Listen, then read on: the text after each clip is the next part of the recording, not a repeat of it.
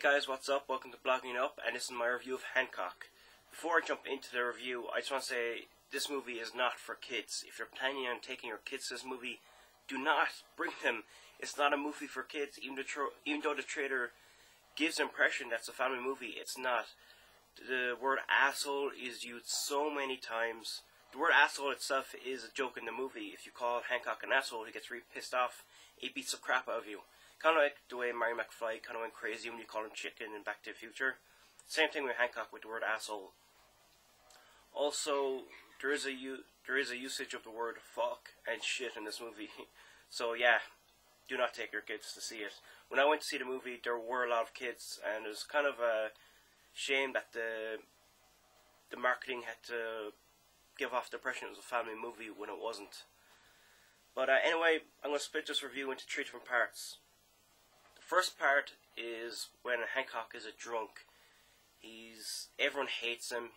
He's a useless superhero. So the first part of this movie is the best part of this movie. It's got the most comedy. It's got a lot of action. It's a different take on a superhero, which I thought was really interesting. And then you go to the second part of this uh, movie. It's when when you see the trailer, Hancock goes to jail because Jason Bateman's character tells him basically, if you go to jail, and you serve time and try to be a better person, then people will love you. And Hancock does this because he wants people to like him. The movie takes a darker turn, but there still is a lot of uh, comedic elements in it, but not as much. And then you hit into the third part of this movie, where Hancock is the hero everyone wants him to be. He is uh, the good guy, and he is saving people. I feel when you went into this part of the movie, you took away what was so much fun about the movie in the first place. A drunk superhero useless.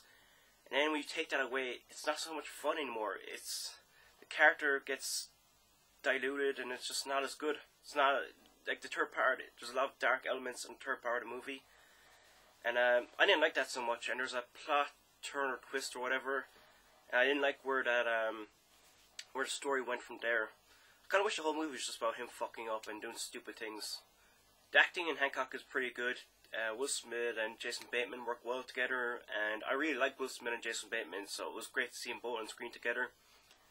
The Hancock character himself, there's many layers to him. It isn't like how you see him in the trailer. There's a, there is a lot more to that character. Overall, I give Hancock a six out of ten. So before I go, I have one final announcement. I now have a film site up. It's called Film Spunk. Um, what I'm going to do is post film news and give my opinion on it. So head over there. I'll up the link here and wherever the information is, whichever side. And um, yeah, so let's celebrate to my new site.